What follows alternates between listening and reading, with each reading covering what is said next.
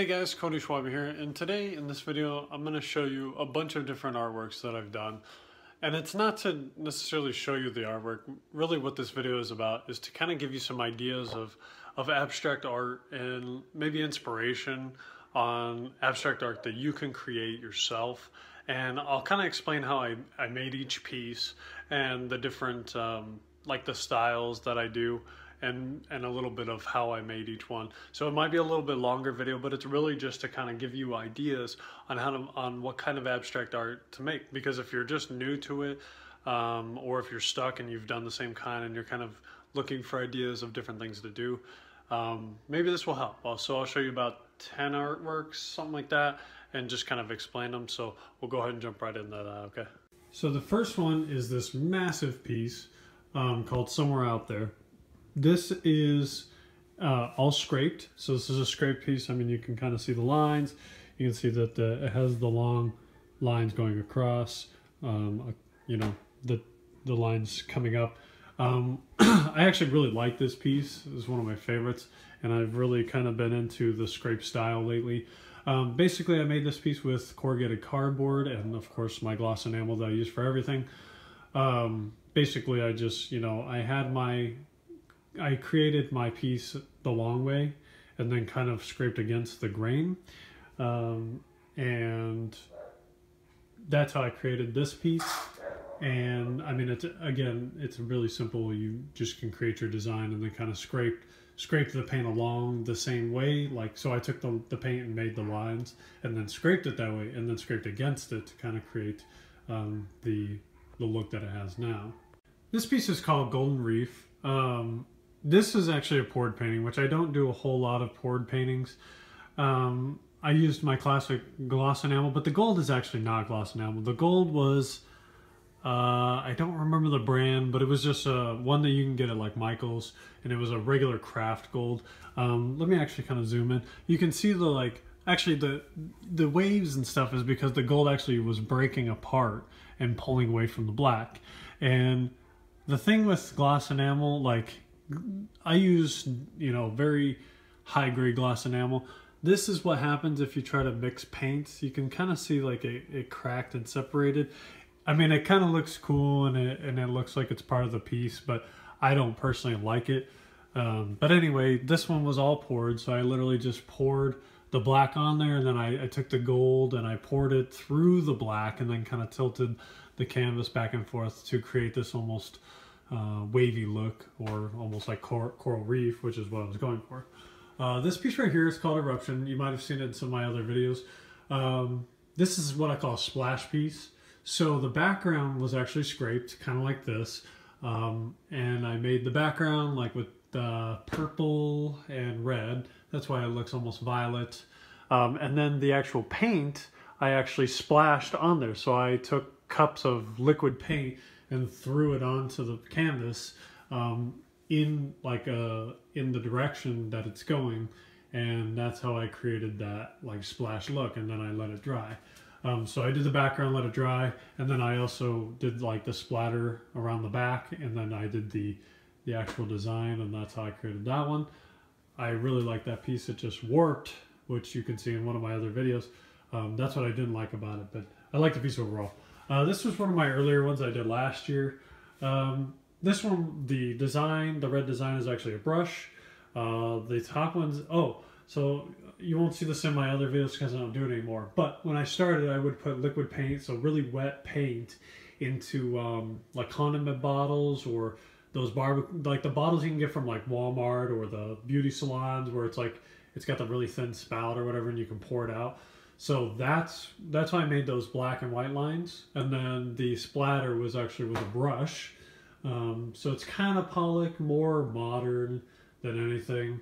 Um, and that is the ties of the vine. This is, uh, I hate the glare for this piece. I'll kind of go to the side. Um, this is a piece I call Dance Till Dusk. I think that's what it was called. Um, basically, this piece is, you know, a Pollock style piece. Did uh, a lot of gray, kind of dark gray in the background and then a lot of line work with white, black, and, and orange. Of It's the same color that you see in the back is what's on the painting. Um, now with this one, I actually used, I believe I used the the rubber spatulas to make those lines, which you can see in another video on how I, you know, make the lines that I do. But anyway, um, like in the tools that I use for Pollock style paintings. So that's what that was that one. Um, you can see a painting up there. I'm not going to get it down. That is Distant Memories. It's one of my favorites. But it's kind of in the style of this one. So you can see it on my site. But basically, it's another scrape painting uh, with pink, purple, and white. Uh, let's move on. We've got uh, this one, From Within. This is a super classic Pollock style painting. I mean, there's literally like, if there was ever a Pollock style painting, this would be it. Um, like it's Pollock like through and through, right? Um, this also is kind of like the style of a guy named Tai De La Venta. Uh, he does similar work like that. Um, but anyway, like this is literally just layer and layer and layer of overlapping lines um, of black, white, and silver. There's also red and a dark turquoise in the back. Um, but yeah, that's literally just taking like, I think it was the back of a paintbrush over and over and over with the lines. And that is how I created that piece. Um, I still like the Pollock style. I just haven't done it as much lately. Well, I kind of have, and I'll show you. All right, moving on. We have this piece called Ecstatic Vibrations. This this piece actually isn't even on my site yet, but it will be. Um, let me kind of scoot back and you can see it. So this piece uh, actually has a lot of lines. Basically, I, I did the, you know, I took the rubber spatulas and the sticks, the, uh, the stir sticks, and just dipped it in the paint. I don't even think I diluted the paint on these ones. I think for the thin lines I don't, usually because it creates those lines and if you dilute it then it starts to drip like this on the sides. But if you want the solid lines, you just literally dip it in the paint like the stir stick or the rubber spatula, and then you just kind of make those lines as you go. And that's how you do it. And then obviously the black and white, and there's also gray around the side. Um, almost kind of looks like a chalkboard or galaxy or something. But anyway, uh, the that was the black and white dots are really wet paint, so I did dilute it for the dots. So if you want the drip, you would dilute the paint. If you don't want the drip, then you just literally dip the brush in there and paint. But again, I use gloss enamel, so it's going to be more wet than regular acrylic. So just as a heads up. Uh, then there's a piece behind it called Cascading Crosses. It's literally just a bunch of crosses that I made with a paintbrush. I literally just took the same paintbrush and I had four colors to start. I just had the blue, the red, the white, and the black. And just using that same paintbrush over and over created these other shades of these other colors. So this this gray, this light blue, um, this darkish purplish blue in the back, um, this little shade up here. So all these different shades actually came out of four colors. So that was kind of just a fun experiment with a brush, but that was all brush work and using, I used four colors, but I just used the same brush over and over and it made that. Uh, this is Modern Royalty. This was another splash piece, kind of like this one. So very similar construction on this one. Um, what I really like about this piece is it has these these really like almost straight lines, not quite straight, but you know they they're straight in the fact that they go all the way down and kind of create like a checkered pattern in the background.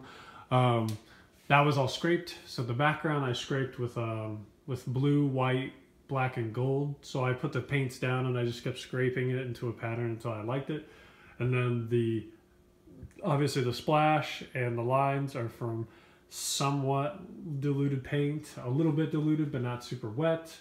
Um, and I think I used the paint stick for that. And then this is the splash work. So literally I had wet paint in a cup, uh, solo cup, and I just kind of like poured it in a design and threw it. And that's what made the splash right there. Um, this piece right here is called Fire and Ice. Uh, this is an all scraped painting. So literally all I used was red and blue. That's it. Uh, kind of reminds me of like well, fire and ice, but also kind of like I guess a cop light or something. I don't know, but I just like this piece because it's it's really similar, but it, it, it's like simple, but it's super vibrant. I mean, you you probably see it. It's it's really vibrant. Um, but I, I really really like this piece, and I made this with just the two colors, red and blue.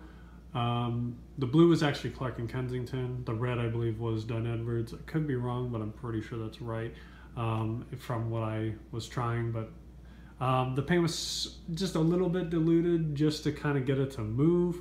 And I made this all with that um, little scraper, the little uh, what is it called? Come on, what's it? Uh, I felt life. The squeegee. That was all with a squeegee. So this was all with a single squeegee. I just pour some of the paint on the squeegee or on there, kind of scrape it into a design, then pour a little more. I kept going because like it started off purple and then I just kept going in layers until it was it was done. Um, you can see a really big painting over there. I'm not going to dwell on that. That's um, levels literally scraped, I think, with the squeegee. Um, yeah, so I just poured the paint, and then scraped it down, super easy. Lastly, let me show you this piece right here. This is a piece I call Southwestern Samba. So there it is. You can see that it's very, it's again, a Pollock style, the gestural abstraction. A lot of dots, a lot of lines. It's not completely filled like that one over there. Sorry for the floor, it's a mess, I have kids. Um, but you can see a lot of the line work through it with the black, the white, the orange, red. There's copper in there as well. Um, but essentially, this piece was, um, you know, I was just making another piece like this, and I really wanted a big piece that also was, you know, really vibrant. I guess the thing that I like about the Pollock style paintings that, and there's another piece right there, um, that is Monochromatic Dream. I have that above my desk because it's one of my favorite paintings. Um, and that's pretty much it. So that's that's a lot of the paintings I have the, around the house. I actually have more in my room. Um, I have more in the garage. I have a lot more. But I, I, I really just wanted to show you this video because I wanted to give you an idea of some of the things that you could do and how I make paintings because there's really no secret. I mean, I thought about it for a long time. I was like, oh, I can't tell people my how I do it or they won't want to buy. But the truth is, is like if I just share that with you, then you can make those incredible paintings yourself. Um, so that's it. That's how I made all these paintings that you see.